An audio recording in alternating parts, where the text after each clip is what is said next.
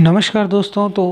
कार्यालय निर्देशक माध्यमिक शिक्षा बीकानेर के द्वारा जो है वो एक प्रेस नोट जारी किया गया है, जिसके अंतर्गत कुछ महत्वपूर्ण बातें जो है वो बताई गई है। पहली चीज़ तो ये कि शनिवार को जो वीकेंड कर्फ्यू है, उस दौरान भी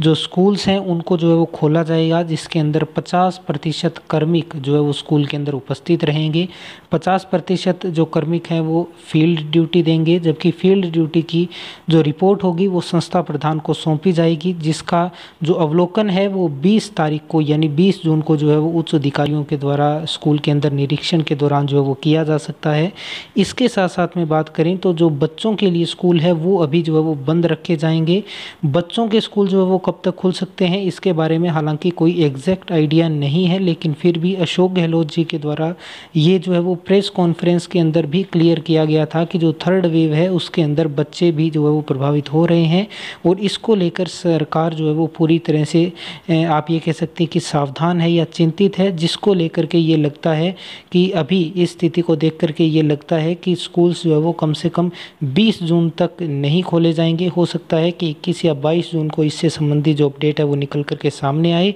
तब तक जो है वो बच्चों के लिए स्कूल को जो है वो बंद रखा जा सकता है। धन्यवाद।